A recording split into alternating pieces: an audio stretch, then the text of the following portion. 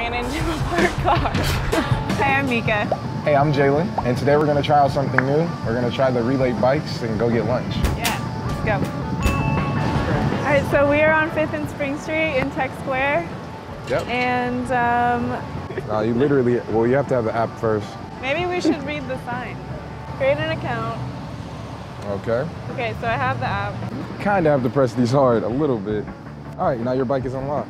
So, Um, so it doesn't look like we can rent two bikes on one account. So now I have to download the app and um, to get my own bike. right. Last time I rode a bike was probably a few years back. It has a bell. It has eight speeds. Screen is really hard to see, so I can't tell if I. Oh wait. Those are both. Oh. Okay, I'm gonna need to move the seat. It's a little heavy. It is heavy. Is good. We're going to Real Taco, Yep. which is that way. Neither Jalen and I have our own bikes. This I think true. so. We don't have helmets either. Yeah, my bike was stolen. Yeah. Also, these handlebars are strangely close together, and I almost ran into a parked car, but it's fine. oh, okay.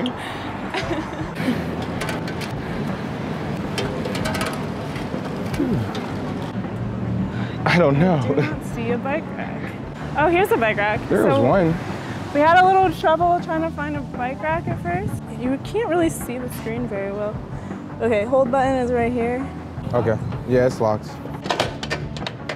Well, it was cool. I just wish they had more bike racks amongst the city so that I could easily lock up the bike.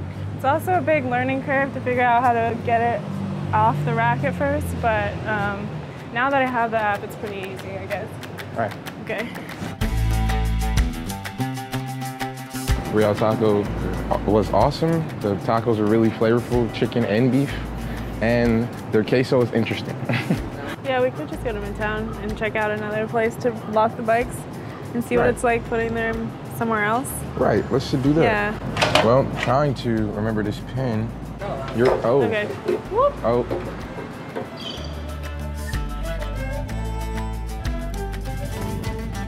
The brakes work okay as long as you're not going too fast. Then you have to use both brakes. Yeah. Okay, where is it? I legit don't see the bike rack. It must be on the other side. Yeah, I think they are. I'm locking it properly, chill. Looks like you pressed done. And it says, thank you, 56 minutes. I cannot see the money. and we were charged a total of $4. Oh, and my phone. Definitely make sure you check your baskets and don't forget anything important. So we had a successful relay bike trip, and uh, now we're gonna reward ourselves with some coffee. well, the bikes are very well built, very sturdy. The app could use a little work, but I can at least see my last trip really easily, and the summary is really nice. But I'm trying to figure out the pre-charge before the the actual trip, like the setup fee, and I can't find it at all.